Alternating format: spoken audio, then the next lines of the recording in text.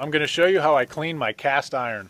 I'm going to take my brush and my scraper, and the first thing I'm going to do is I'm going to scrape all this stuff off of here as much as I can get off for now.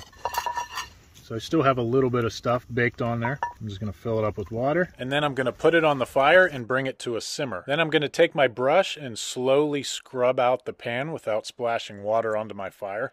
The hot water is going to loosen any food that's baked onto the pan and help it come off a lot easier.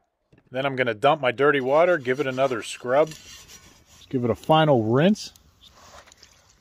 So now we're going to put it back on the fire. You want to evaporate all the water out of the pan so that your cast iron does not rust. Once all the water evaporates out of there, I'm going to add a little bit of olive oil, rub it all through there.